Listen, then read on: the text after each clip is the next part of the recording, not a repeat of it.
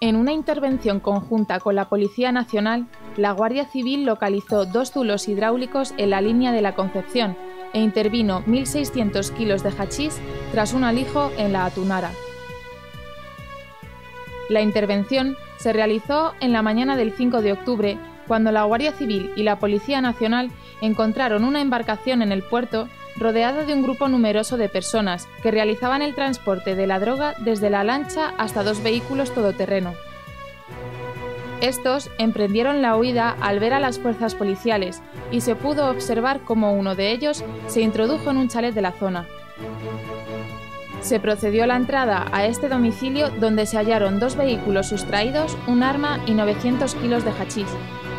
Dentro de la vivienda se hallaron mecanismos novedosos para ocultar los vehículos y la droga, como una pared móvil en el garaje y un zulo hidráulico debajo de un plato de ducha.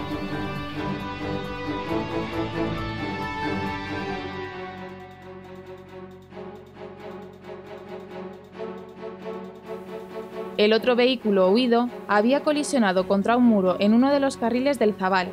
El conductor se había dado a la fuga y se encontraron 700 kilos de hachís en su interior.